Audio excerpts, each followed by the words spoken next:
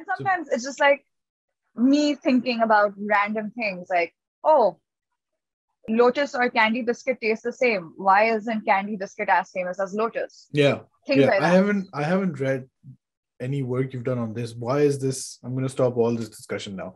Why are they not as famous? Because I when I left Pakistan in yeah. 2010, the Lotus yeah. craze was non-existent. Insane. Oh, it, it's insane. Like उसमें Nutella था.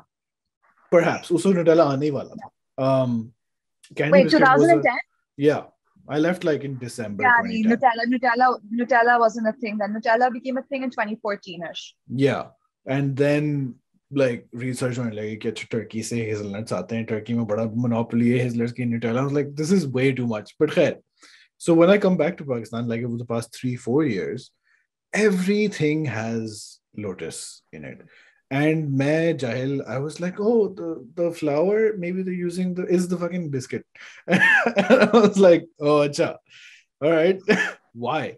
Um how how do you know how this happened? Or slash why? Yeah um I I so the thing is, is that lotus biscuits uh, and their flavors started coming in so people started eating lotus biscuits mm. and it became a whole thing i think an instagram blogger started it yeah. Um, and it became, and it became a whole thing that people started eating lotus a lot. And बहुत आ गया था पाकिस्तान में इम्तियाज में हर जगह मिलने लग गए थे. People started eating them a lot. And this is back when the dollar wasn't as expensive as it is now. So, you know. putting that out there. Yeah, yeah, yeah. So, so जो Biscoff spread tha na, lotus ka, that was also pretty cheap, right?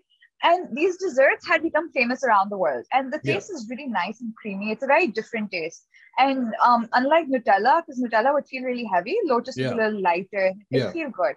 Um, so people started mixing it with a lot of desserts. Um, one day I went out and I was having dessert, and everything there was like, oh, lotus ice cream, yeah.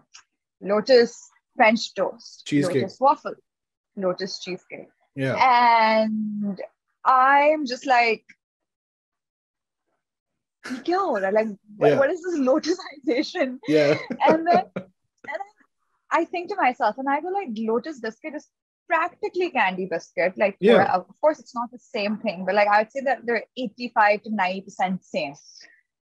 And I go like, yeah, हमने ये क्यों नहीं किया why didn't we candyize the whole like menu? Why is it lotus? Like or this is and this this time that I'm thinking is like when the dollar starts getting expensive and import substitution shuru and I'm like right. and at this point lotus spread had become really expensive all over Pakistan and shortage gayi thi because demand bahut tha supply kam thi and dollars ki wajah se the price has also gone up so at that point I go like you know what I think Candi biscuit lost out on a chance mm. and that is the the the inspiration for the article.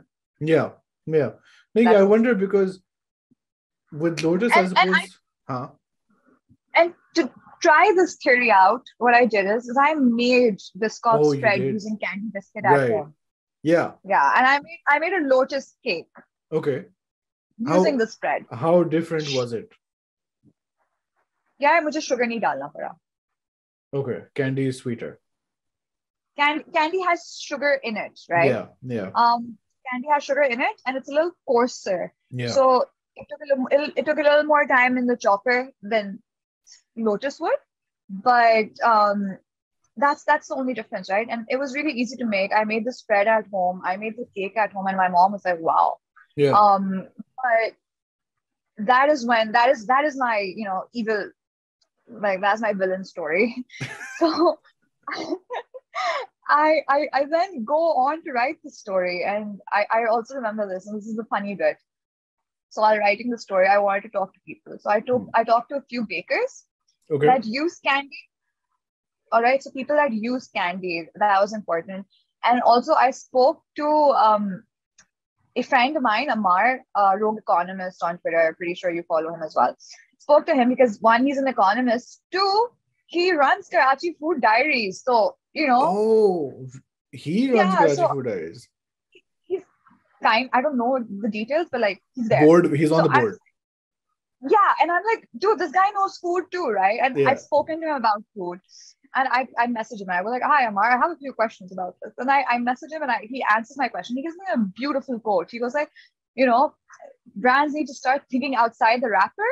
And why can't I get a churan chutney dessert? It's, it's a beautiful quote, right? Right. And in order to troll around with people, what I do is I, I tweet writing a super serious article about a super serious issue with a super serious quote by you know rogue economists, right? And then people start asking me, "Are you writing about LNG? Are you writing about energy? Are you writing Yeah, about yeah, yeah. policy?" And they're asking like crazy questions, like you know, like super serious. And then three days later, an article comes out about Lotus Yeah. and Candi.